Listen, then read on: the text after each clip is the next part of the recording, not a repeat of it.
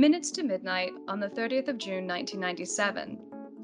In the Hong Kong Convention and Exhibition Center, Wan Chai, one flag is lowered and another is raised. After a 99 year lease, the rule of Hong Kong is returned to the People's Republic of China from Britain. This is Megan Schaefer with the Oxford Comment. The 1st of July 2022 marks the 25th anniversary of the handover of Hong Kong. It also marks the halfway point of a 50 year agreement between China and Hong Kong that established the one country, two systems rule, a system designed to allow Hong Kong to enjoy a high degree of autonomy, except in foreign and defense affairs, while remaining a special administrative region of China. In recent years, civil unrest in Hong Kong has intensified as groups of protesters, police, and politicians have clashed over issues of democracy and state influence, leading many to question just how much the one country, two systems rule still applies.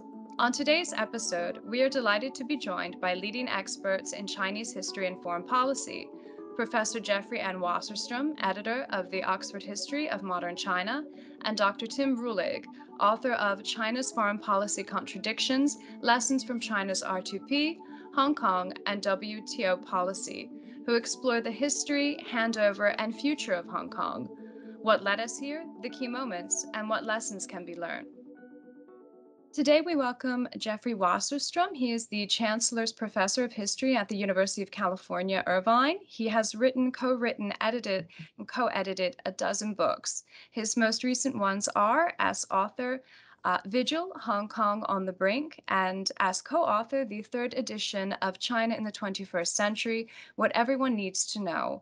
In addition to writing for scholarly periodicals, he often contributes to newspapers and magazines.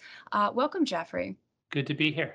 We are happy to have you. So I'm going to jump right into our questions. Uh, first and foremost, could you provide us with the historical context for the involvement of the British and Chinese that led to changes in Hong Kong's governance? So, the place for a historian to begin the story of modern Hong Kong, though Hong Kong goes back before this period um, and has an interesting uh, local history that can go go back for centuries before the area there the place to start is really with the Opium War, um, the clash between the British and Qing empires that ended with Britain defeating uh, the Qing. And in the settlement of that war, Hong Kong Island was ceded uh, to the British as a colony. Uh, one interesting thing about it was at the time, some people on both sides were displeased about that uh, decision. Uh, from the Qing Empire's point of view, to cede any land in perpetuity to uh, another empire was seen as uh, giving up too much. But Lord Palmerston, the foreign secretary of the British at that point, felt that getting Hong Kong Island was getting too little. And he made a statement that uh, is one of the first of many forecasts about Hong Kong that made fools of forecasters, because he said, that to get Hong Kong was was not enough because it was, in his words, uh, barren hill with barely a house upon it. He exaggerated, and it would never be a great mart of trade, by which he meant that it would never be as major a center as uh, Macau nearby, that had been a Portuguese colony for a long time, or Canton nearby, that was the main South China port through which uh, trade between the Qing and the West was was rooted. And of course, over time, Hong Kong, which always had the advantages of a marvelous harbor, grew to be a great mart of trade indeed, and in many ways surpassed its neighbors by the end of the 19th century. So that's that's where the kind of story of modern Hong Kong, as I say, there's there's more to it than that um, going back, but that's where what Hong Kong as an international city. That's where the story really begins. And it goes through all sorts of important phases after that, but I would just highlight two moments in particular as we're thinking about the history of the city going forward. And one of those um, moments is in 1860 at the end of another war between the Qing Empire and this time both the British Empire and the French. At the end of that second Opium War, uh, the British get additional lands, Kowloon uh, on Kowloon Peninsula, as part of the colony of Hong Kong. And then years later, in 1898, additional territory, a whole set of nearby villages and other um, and other land that became known as the new territories becomes part of British Hong Kong. But importantly, those territories are not ceded to Britain in perpetuity as a colony, but rather there's a 99 year lease for them. So there's an expiration date on this arrangement of 1997. And that looms over Hong Kong and the British and Chinese feelings about Hong Kong because there's a sense that in 1997, uh, things have to change and the new territories need to go under Chinese control. And so that's why 1997 was seen as a potential turning point for a long time. What were some of the resultant changes that came from this handover? So, when the handover itself takes place in 1997, it's not just the new territories that are transferred uh, to Chinese control, but all of Hong Kong, including the, the parts that were a British colony. One of the issues was that while technically the British could have maintained control over Hong Kong Island and Kowloon um, Peninsula, a lot of the food that Hong Kongers uh, relied upon, a lot of the energy and the water, all of that was in the new territory. So the decision was made in the 1980s that all of Hong Kong would be transferred to Chinese control, which at that point meant becoming part of the People's Republic of China. And a complicated arrangement was worked out um, between negotiators in London and Beijing. And it's important that Hong Kongers themselves were largely left out of that negotiation or were brought into it, but never were able to set the terms of it. It was, in a sense, transferring uh, control of the territory from Britain uh, to, to China. Uh, but there were things set in place that would would modify the situation, and the idea was that there would be a system that was referred to as one country, two systems. And what that meant was that Hong Kong would become part of the People's Republic of China. But for 50 years, going forward from 1997 until 2047, uh, it would operate in a distinctive fashion uh, that would make it a different kind of place than other cities that were part of the PRC. And under that arrangement, for example, there would be uh, continuity of um, a different kind of economic system that was in place in Hong Kong. And but beyond the economic system staying different, there was a kind of push and pull from the beginning, before 1997 and after 1997, over what else counted as the two systems. What else would be different in Hong Kong besides the way people made and spent money? Uh, in Beijing, the Chinese Communist Party largely wanted from the beginning that to be the main thing that stayed different. But there were things that were that were put into the agreement known as the Basic Law that spelled out how things would happen. That was the kind of closest thing to a constitution that that Hong Kong has ever had.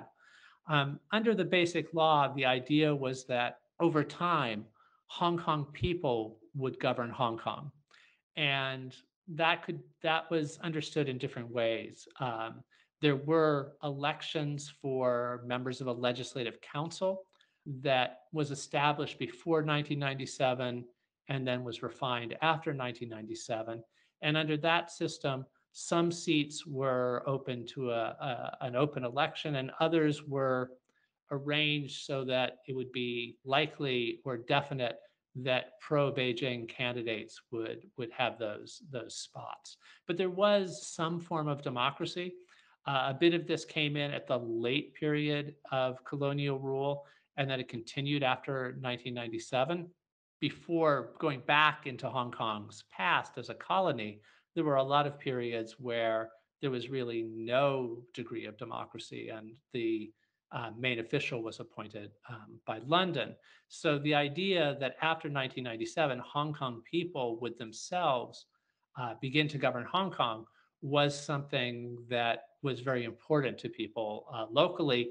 And a lot of the story after 1997 was Hong Kong people trying to expand the degree of democracy, including moving toward open elections for who the chief executive in Hong Kong would be, while Beijing tried to make it so that the chief executive in Hong Kong would have to be someone who was amenable to uh, Beijing's uh, view of how things should be done.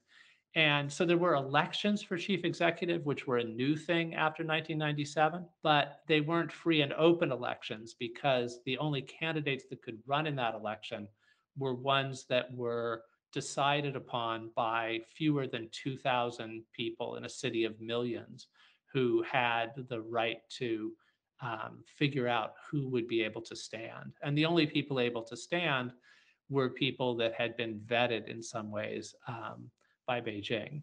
So you had something in which, under one country, two systems, there were some elements of um, democratic forms coming in, but in a constrained way there were some other things that continued from the period of British colonial rule that were important to local people, such as a different legal system, a different system of independent courts that were very different from what took place on the mainland.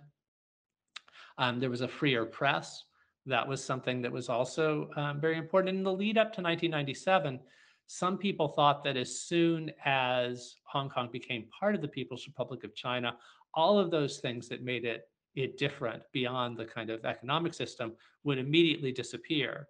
And those pessimistic predictions became a new example of Hong Kong making fools of forecasters, because in fact, early on, uh, Beijing exerted a fairly light hand over Hong Kong in many ways. And the courts that operated very different, differently than on the mainland, um, defendants had a much better chance of um, being declared innocent uh, after a trial than they did on the mainland, where there was often about a 99% conviction rate. In Hong Kong, judges could could rule that the police had acted inappropriately in a in a situation, something that didn't happen on the mainland.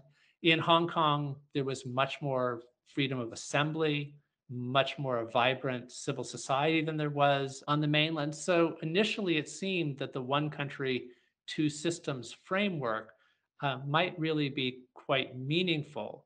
That the one country part would be that Hong Kong would not have its own diplomacy, it would not have its own military. Though, in, in diplomatic and military terms, it would be part of the country, the People's Republic of China. But in many ways, that not just business, but also the press, universities, the courts, the way they operated, it would be very different from cities just over the border in the mainland. Um, nearby Macau, which became part of the People's Republic of China in 1999, when the Portuguese uh, ceded control of it, it also had a one country, two systems framework. And so these two former colonies stood apart from mainland cities. But Macau never had as vibrant a sort of sense of political freedoms and uh, freedoms of speech and assembly as there were in Hong Kong. So, in a sense, there was a way in which at Macau, the, in Macau over time, one country, two systems really just meant Macau was a lot like um, mainland cities with some some greater freedoms, but in many ways, the main part of the thing that made two systems relevant for Macau was that there was a different different rules about how people made and spent money. Most obviously, with things like casinos and gambling there that could not be on the mainland. And so there was a push and pull where Beijing, I think, from quite early on, though it exerted a light touch over Hong Kong, you could tell that the Chinese Communist Party's hope was that over time there would be less and less that made Hong Kong stand apart from mainland cities, while people in Hong Kong push for more and more to help it uh, stand apart. What does the one country, two systems model mean for Hong Kong today in 2022, politically, socially, and economically? So, the story of Hong Kong in the last couple of decades, I think, has been one in which a period when it seemed that Beijing was exerting a fairly light hold on the, the territory has shifted to one where Beijing has been trying to exert a tighter and tighter control and working through its proxies in the city to try to minimize the kind of meaningfulness of the two systems part of one country, two systems. While there have also been in recent years a series of dramatic protests, uh, particularly in the 2010s, though there were protests before then that were important as well, that were about either trying to expand and strengthen uh, the separateness of Hong Kong uh, in political terms, such as by fighting unsuccessfully in the end for free and open uh, democratic elections for chief executive, or the protests were about pushing back against what were seen as moves to curtail freedoms that existed already within Hong Kong.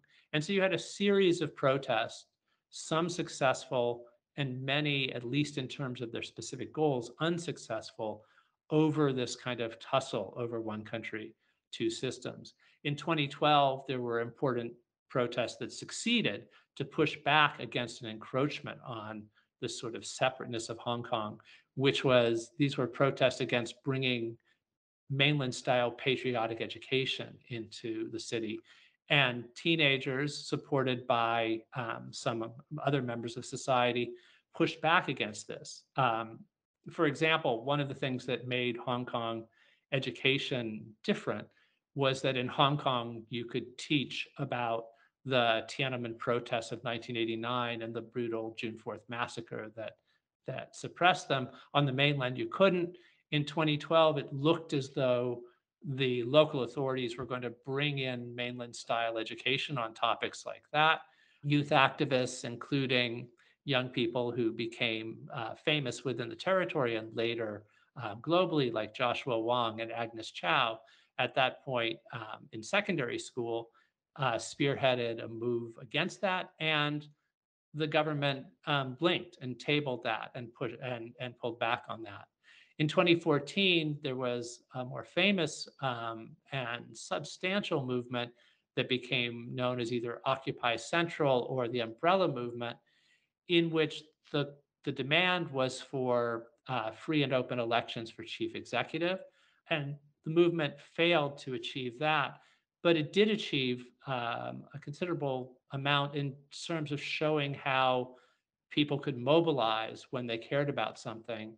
And there was um, a 79 day period when uh, Hong Kong was largely paralyzed by the protests in the central district and occupied districts in other parts of um, the city as well.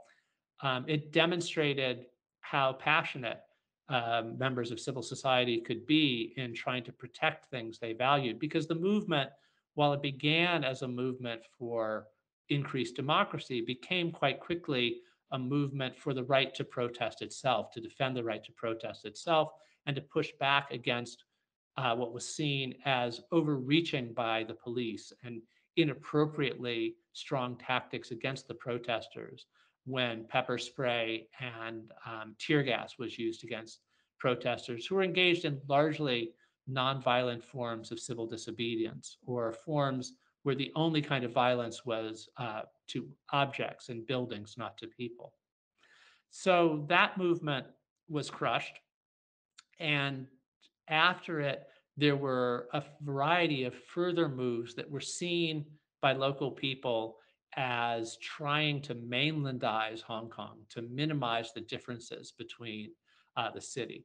One of those important moves was the kidnapping of um, five booksellers who were involved with publishing the kinds of books in Hong Kong that could not be published on the mainland. And the, the kind of greater freedom of publication was another thing that people valued as making Hong Kong uh, stand apart. And so when these booksellers were disappeared and showed up on the mainland, in some cases making what were quite clearly forced confessions on television. Uh, this was seen as a, a, warning sign to Hong Kong people that an erosion or destruction of the two systems part of one country, two systems was underway. And there were protests uh, against that. There were protests also when there were moves by the mainland to interfere with um, legislative council um, elections, trying to get people disqualified um, who had been elected to the council but were seen as not having taken their oath of office with enough respect. These kinds of things happened between um, the end of the umbrella movement at the end of 2014 and 2019. And there were sporadic protests, there were more moves in this direction. There was a sense of things reaching a period of crisis. Uh, and it was unclear whether Hong Kong people would rise again to push back against those and how the state would, how the authorities would respond if they did. And those questions were answered in 2019 when the largest sustained uh, protest in any part of the People's Republic of China uh, since 1989 took place in Hong Kong and then ended after a very dramatic series of events back and forth, ended with the protests um, being crushed. Um, and those protests, it's important to, to, to, to realize that they began as a pushback against an erosion of, um, of local liberties. They began when the local authorities proposed a, um, an extradition bill. The extradition bill would have allowed people in Hong Kong who, who the mainland wanted to try on the mainland to be taken over the mainland to be tried in that very different kind of legal system. And um, this was seen by local people as essentially being um, uh, a law that, if it went into to practice, would be the end of the rule of law in Hong Kong. Because even though the initial case that was used to justify it was one of a murder case, the fear was that um, if it went into effect, then anybody who was seen by the mainland authorities of speaking out in ways that really angered the Chinese Communist Party could be taken across the border into a system in which they would not have the kind of legal protections that people in Hong Kong uh, valued for themselves. So there were protests that started as a pushback against this um, proposed extradition bill, but very quickly became uh, a movement to protect the, the right to protest itself, became a kind of protest that kept going because people felt that the police had um, gotten out of hand in the way they were trying to crush the protests. Uh, so one of the main calls of the protesters, and one the one that I think kept the movement going uh, the longest when it when the local authorities refused to give a to budge on it, was that there should be an independent investigation of police uh, violence against protesters. Um, it's important to realize that there was some violence by protesters as well as violence by the police during uh, 2019 protests that evolved into, uh, that went from being marches of, of unprecedented size um, for Hong Kong. Uh, by estimates, uh, some marches drew over a million people to the streets of a city that has 7.5 million or so. And that's just a staggering percentage of the population to turn out in any kind of setting it ended up developing into pitched battles at points between um, protesters who, some of a very small percentage of whom, but some of whom threw Molotov cocktails and engaged in actions like that. But the police, uh, for their part, used unprecedented amounts of tear gas against protesters, including using tear gas in the kinds of settings where um, it's, it's universally agreed that tear gas shouldn't be used, such as inside enclosed spaces, such as uh, subway stations. So over time, what began as an exclusively nonviolent movement evolved um, into one in which there was um, there was violence on both sides. But even once there was a great deal of violence on both sides, uh, public opinion show, polls showed, as well as the people who showed their feelings by taking to the streets showed that the majority of Hong Kongers continued to believe that the preponderance of violence was coming from the side of the police rather than the protesters. And um, the movement kept kept going longer than anybody expected early on it would and grew larger uh, than anyone early on expected it would and became this kind of final struggle over the fate of uh, one country, two systems as it had operated and as uh, people in Hong Kong, many people in Hong Kong wanted it to operate. Uh, but at the end of 2019, well, there were the last big protests late in 2019 and a large march on um, New Year's Day 2020. But after that, the Hong Kong story really went into a different kind of phase when um, repression of the movement uh, continued and the space for continued protest uh, began to disappear and the kind of space to organize in civil society uh, for future actions also um, began to disappear. And under um, under the cover and part of uh, COVID 19, which both allowed laws to come in, uh, regulations to come in as they came in in many places that limited mass gatherings, uh, but also provided uh, just a global distraction that allowed the authorities in Beijing to do something that they had probably wanted to do for quite some time, which is introduce a new national security law um, imposed on Hong Kong even though one stipulation of the basic law against sedition and things like that should be developed and implemented by uh, the Hong Kong authorities, not imposed from outside, um, the Beijing authorities violated that part of the, the basic law uh, by imposing a very stringent national security law on the territory that went into effect July 1st of 2020 and immediately had a profound chilling effect on on local people because under this new law there was the potential for um, people that were seen as violating it and a lot of the terms of it were left fairly vague to risk um, being sentenced to life imprisonment. And after that a new um, a new national security law enforcement apparatus developed that's a kind of mainland style police structure within Hong Kong uh, has developed. And so um, there have been a series of, um, of blows to local, uh, local society, hitting different segments of society at different times, but having the overall effect of um, making people fear that doing a lot of things that would have been routine to be able to do in Hong Kong, such as organize uh, protests or speak out against the authorities in a public venue, could now come with the kind of um, harsh penalties on them that uh, had been routine on the mainland, but had not been the case in Hong Kong.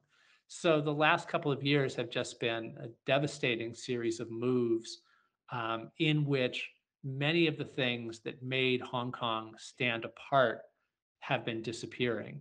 Uh, there no longer is the same kind of protections of rule of law and uh, ability to, to know that you're going to have um, a fair trial. There has been the shuttering of newspapers that were published and um, published the kind of material that was banned on the mainland. Um, there's been the introduction of patriotic edu- education into the schools. In a sense, all the things that people were fearing before uh, 2019 and that helped motivate them uh, to take to the streets have come in blow after blow after blow to the city. What do you think will happen after 2047, the date after which mainland China is no longer obliged to grant the autonomy agreed upon with Britain prior to the handover? In a sense, while that was a question that was very relevant to ask at an earlier point, in some ways it's become a moot point because the idea was that until 2047, there would be this one country, two system framework that had Hong Kong remain quite different. And then things would change in 2047. And how things would change was an open question. But now that's not really the question because the two systems part of one country, two systems has really been gutted it, in ways other than how people make and spend money. Very little continues uh, from that earlier framework. So, two things that Hong Kongers have um, sometimes said about this, I think, are worth uh, repeating. One was an idea that one country, two systems became over time one country 1.9 systems, then 1.8 systems, then 1.7 systems. And now, for all intents and purposes, is really just one country, one system. But the other thing that's been said, and I, I'm not sure um, this was originally on social media, and I learned about it from um, reading something by Joanna Chiu, who's um, uh, a Hong Konger um, journalist now in um, Canada. But she said on social media, some um, young Hong Kongers were saying in the early 2020s, uh, boy, I thought I would be older when 2047 arrived, meaning that by their feeling is they thought, you know, that that until their um, they would be in their 40s, but but 2047, by all intents and purposes, had arrived when they were still in in their 20s. So there is a sense in which um, one way that a lot of people feel in Hong Kong is that things that they worried about taking place over a long period of time have happened very quickly. Um, there was a, an important movie made in Hong Kong in 2015 called 10 Years, in which a group of directors imagined in quite dystopian terms uh, what Hong Kong would be like in 2025, uh, 10 years down the road, if trends that were underway that they were worried about continued. And yet, when people talk about that film, a lot of people said when it came out, uh, and this was a film, by the way, that of course was um, was anathema to the Chinese Communist Party and was um, and has been banned and all kinds of things. But people said in 2015 when it came out that it was a scary movie that seemed like it might be predicting uh, a dark future that would be there by the mid 2020s. But by the time the national security law was enforced, a lot of people were saying that actually the predictions in it were arriving much, um, much faster than even that film that had seemed so dystopian and futuristic had predicted. So I think one of the interesting things in in watching um, Hong Kong change from afar and reading um, what people in Hong Kong are, are have been saying, and and I think it's important to say that people in Hong Kong have still been trying to make use of whatever space remains to express their outrage or their concern or their despair via uh, and sometimes via the kinds of techniques that people living under a harsh form of repression and censorship need to in kind of indirect ways and through artistic and creative uh, expression. So the sort of spirit of resistance in Hong Kong really um, is still there. It's just been forced to go underground. But what one thing that a lot of people within Hong Kong experiencing uh, what's been going on have been said is it's it's shocking how fast um, blows have been coming to the things they treasured about Hong Kong. One of the Hong Kong journalists I find um, most insightful to read, Mary Hui, uh, wrote about changes coming at warp speed uh, after the national security law came in. But I think it's important to realize that from an outside perspective, in some ways, the Chinese Communist Party has very cleverly moved um, slowly in bringing about the changes they want to see in Hong Kong, in the sense of making sure that the moves they make uh, take place in different news cycles so that the kind of global outrage that there might have been over this kind of sense that 2047 was being forced in in uh, on the city in in 2020 isn't fully appreciated uh, by people trying to navigate um, in this very strange world we've been living of crisis after crisis globally and of attention span uh, about global news. So that, for example, after the national security law came in, it wasn't that every famous dissident was immediately arrested. Some were arrested uh, quite quickly and others um, more slowly. It wasn't that every civil society group was threatened. Those in some segments of society were threatened in one month or even one year, and others in another. Um, there was a dramatic move against uh, the highest profile publisher of a newspaper in um, in Hong Kong, uh, Jimmy Lai, with um, a large contingent of police raiding the newspaper offices of, of Apple Daily. That happened, and then it took another year before, um, after he was removed from the scene, for another symbol of Hong Kong's difference, uh, two other symbols of Hong Kong's difference, famous statues uh, commemorating Tiananmen that couldn't be um, anywhere on the mainland, but could be on Hong Kong campuses. It took a, it took almost a year after Jimmy Lai's arrest uh, for uh, those statues to be taken down from Hong Kong University, where the Pillar of Shame statue was, and Chinese University of Hong Kong, where the Goddess of Democracy statue was. Um, those disappeared in a completely different news cycle, sort of as the world had had time to think about other things. And, and in between, there were a variety of moves against um, specific kind of others, other symbols and people associated with Hong Kong's difference. So you have, in one sense, this very fast, or it can seem very fast, move to curtail Hong Kong's freedoms um, after uh, after the 2019 uh, protests ended. But in another way, it's taken um, a couple of years for the, those kinds of uh, repressive moves to fully take hold. And that has allowed them to both take place in the open view of the world and remain to some extent under the radar.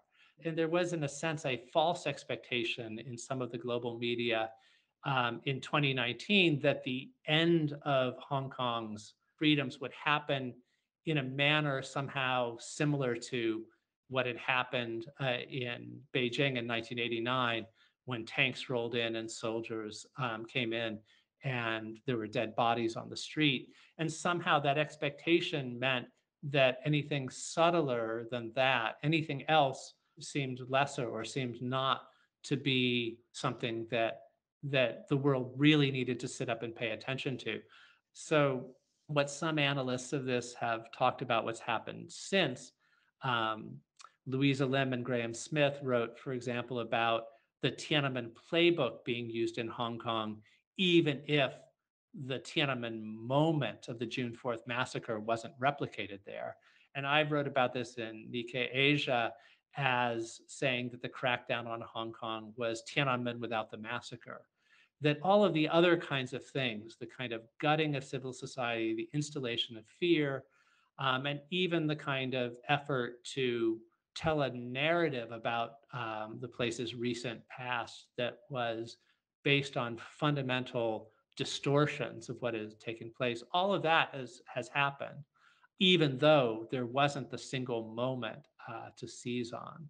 So, in fact, what you've had, um, if we think about parallels to the stifling of, of freedoms in Hong Kong, we might think about other parallels um, in, in other parts of the world, but even in, in the PRC itself, when um, something more less instantaneous than the June 4th, 1989 moment in Beijing took place, there are precedents. Um, one precedent is that when the city of Shanghai um, was taken over by the Chinese Communist Party in 1949, um, Shanghai, which had played a role very like Hong Kong as a kind of uh, gateway city between China and, and the wider world. Before then, um, people in Shanghai were told, look, even though you'll be part of a Communist Party run state, a lot of local activities that you're used to can go on much as they have been.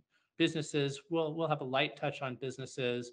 Uh, there were even some newspapers that continued, and there was an idea that Shanghai would be able to remain a kind of separate sort of uh, cosmopolitan city that was brought into the country um, and would be part of this new country, but would be able to be quite different.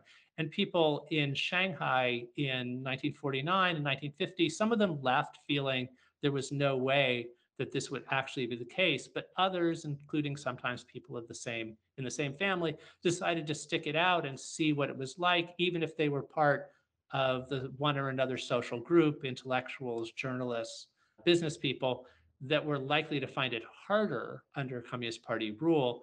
They stayed for a while, and then it was only in 1950, 51, 52 that it became clear that the city was going to have to be, in many ways, much like any other Chinese city, that the people left. So that would be a lot of the similar kinds of debates with uh, over whether to stay or whether to leave, um, there were echoes that I think of that kind of Shanghai moment in Hong Kong recently.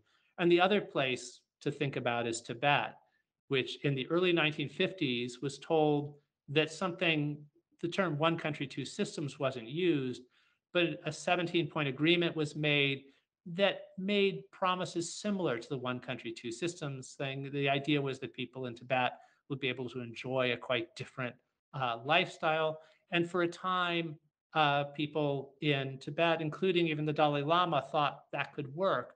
But by the end of the 1950s, it became clear um, that it wasn't going to work. There was resistance, and then there was repression.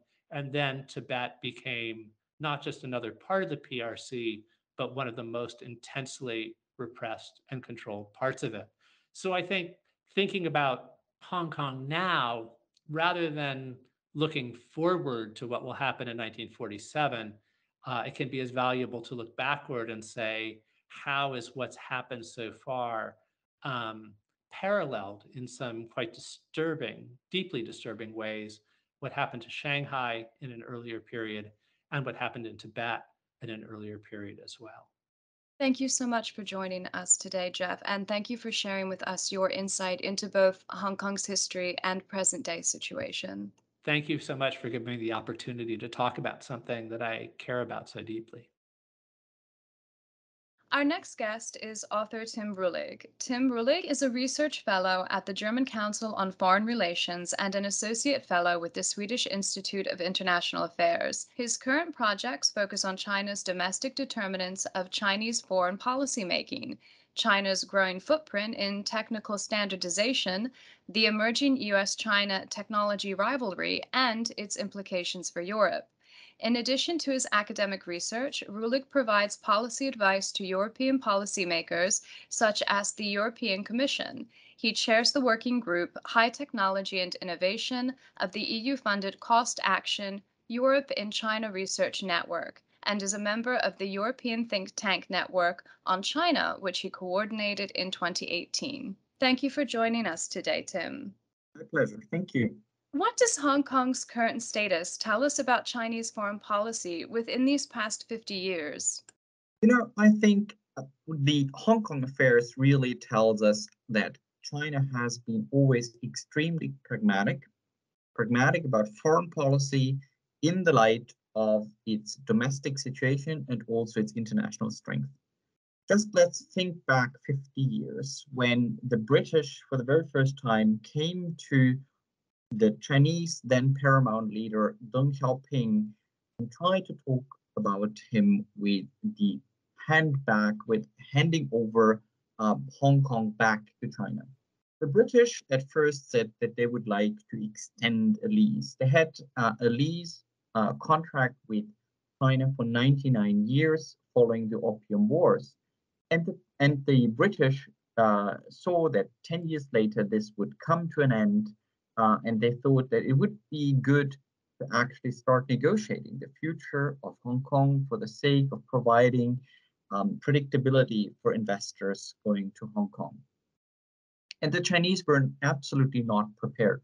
Everything that Deng Xiaoping said that uh, the British should tell investors that they could put their heart at ease, uh, which is really nothing. He was not prepared. He didn't understand international law the Chinese were entirely unprepared for this.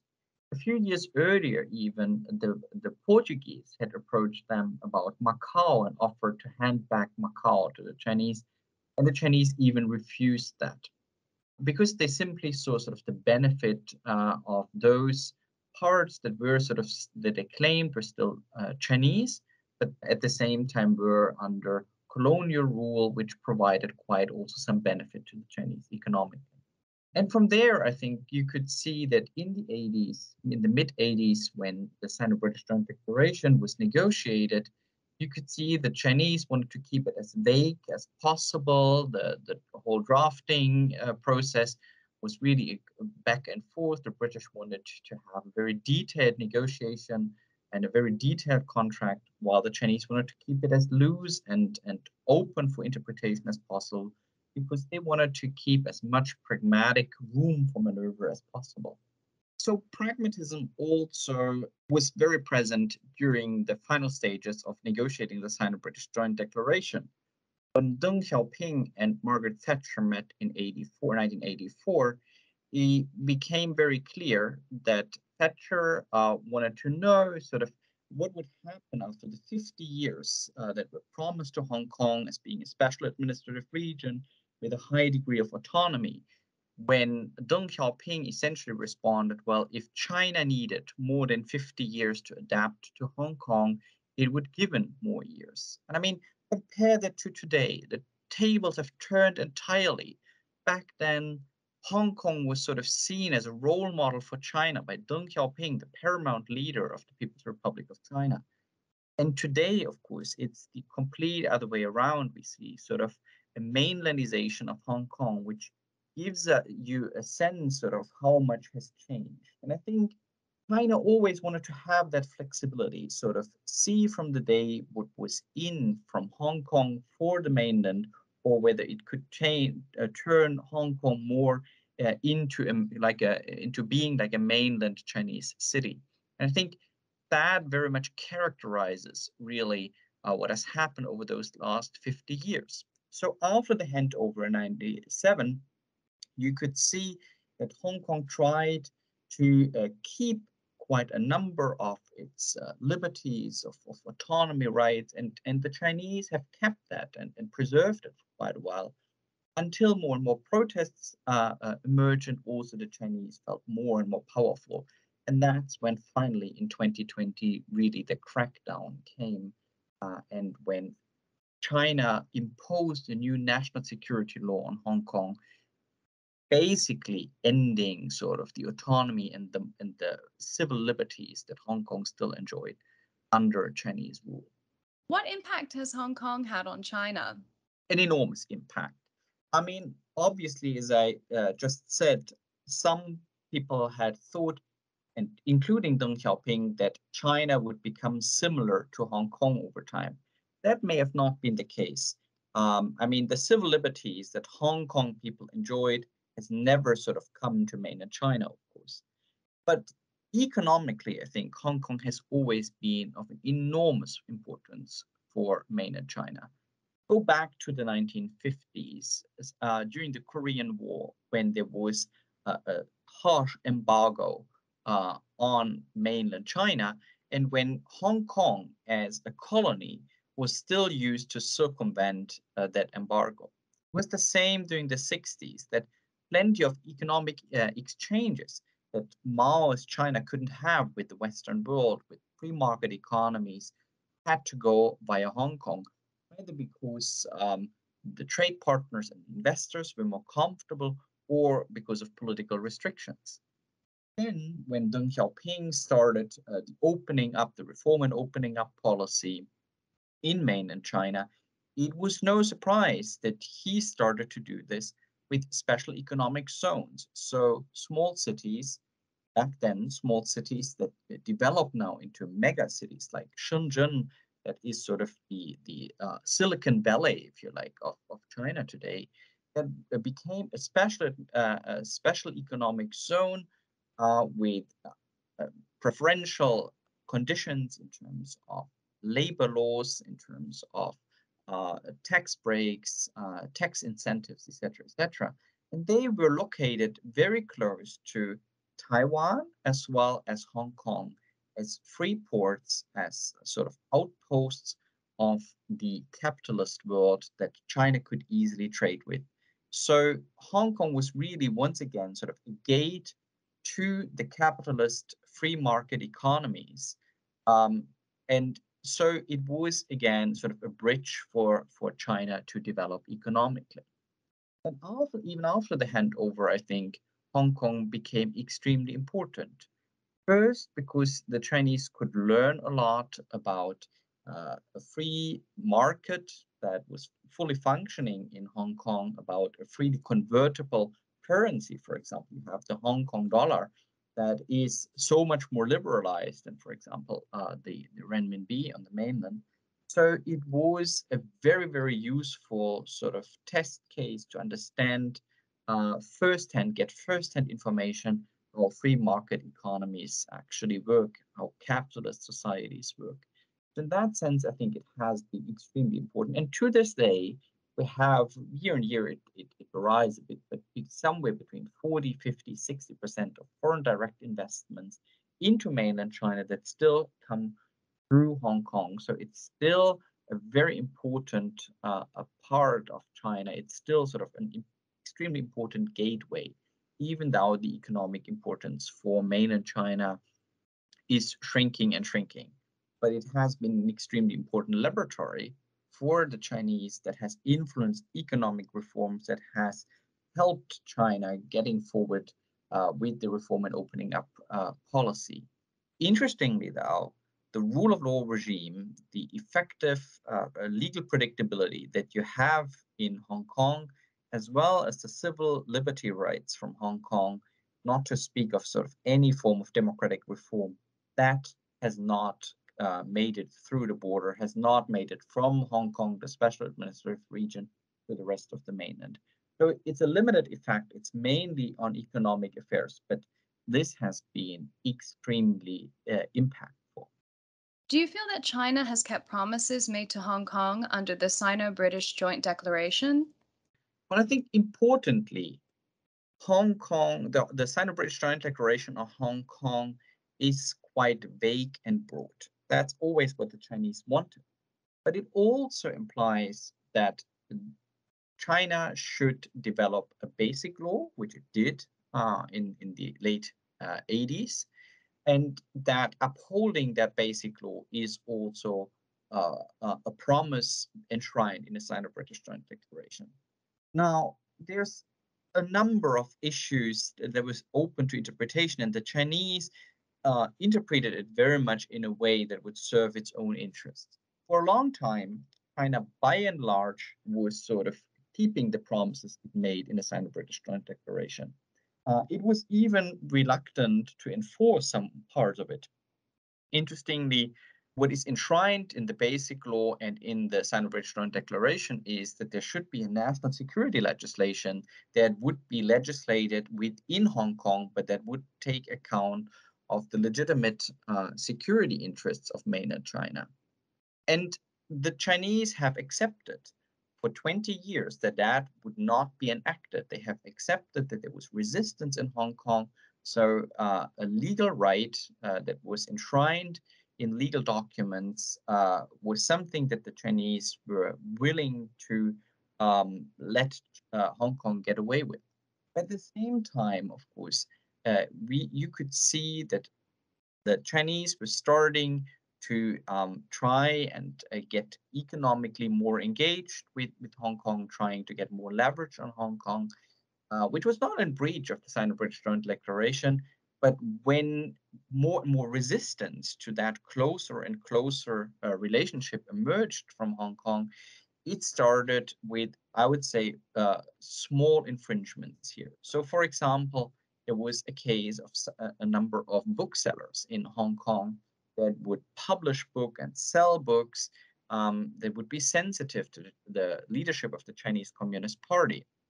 One book that would touch upon President Xi Jinping's sex life that has never appeared, but shortly before it came out, uh, the, the, the editors sort of disappeared uh, from their holiday homes. Now, there's different versions on how this came about, but it's very clear that I think this was a very first, very clear breach uh, of the Sino-British Joint Declaration.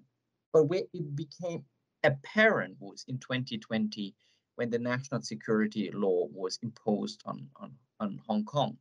I mean, as I said before, the Chinese had a right to demand from the Hong Kong parliament to put in place a national security legislation but it had no right that the Beijing leaders would make this.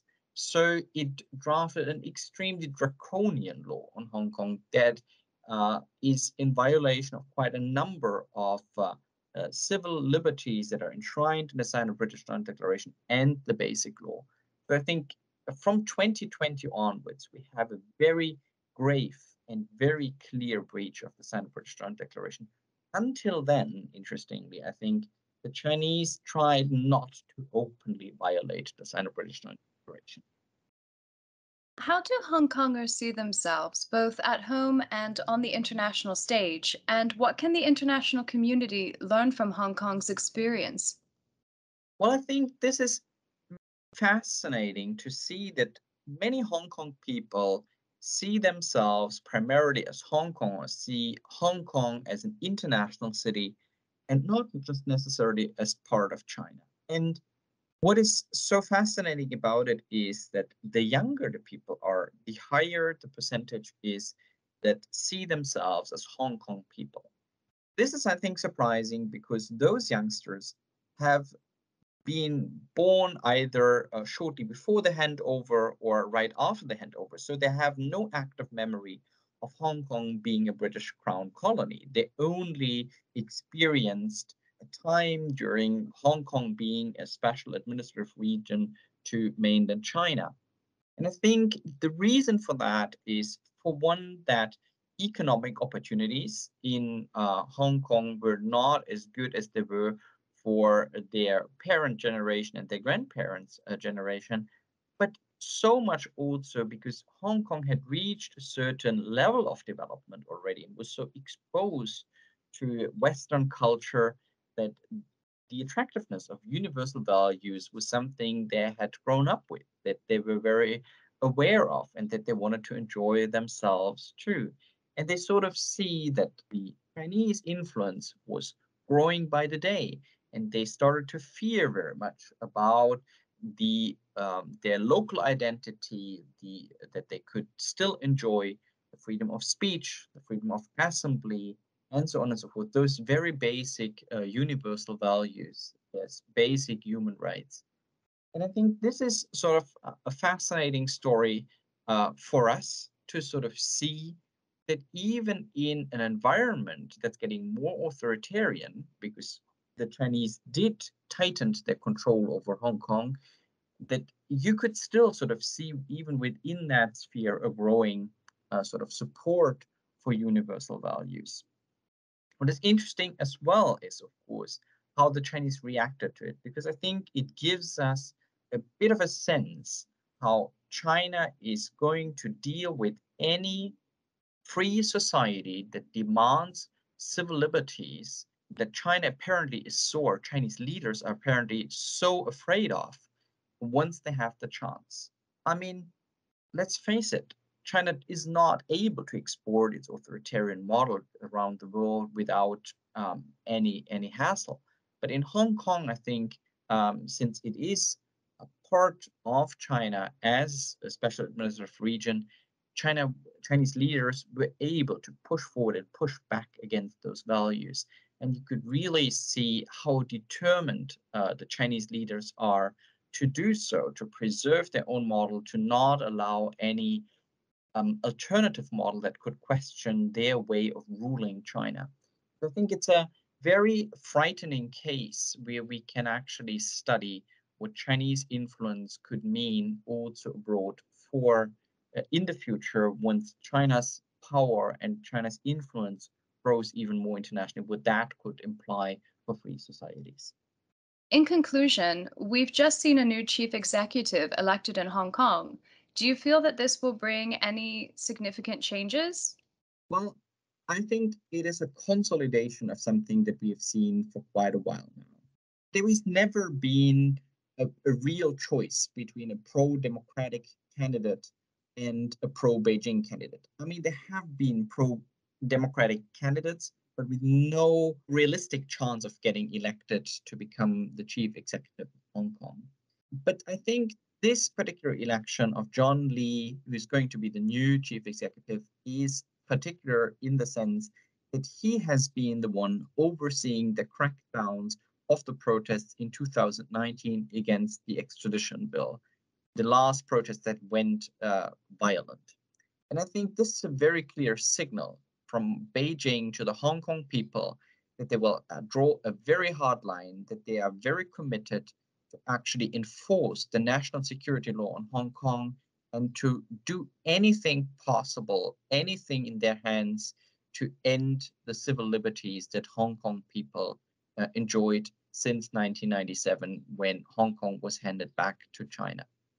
One recent example for that, I think, that doubles down on this is also the arrest of Cardinal Zen, who has been a, a person who's been supporting the pro democracy movement for such a long time.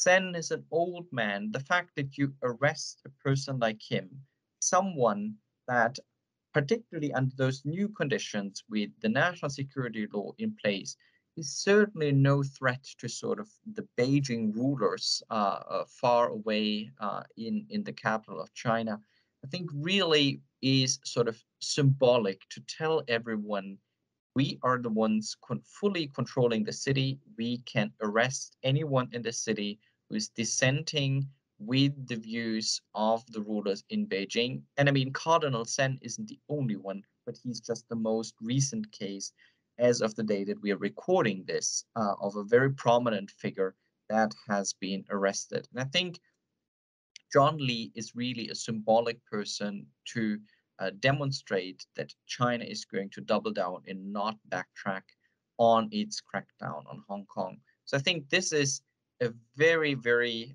unfortunate development. The chief executive elections themselves will not bring enormous change, but I think they just demonstrate how committed China actually is.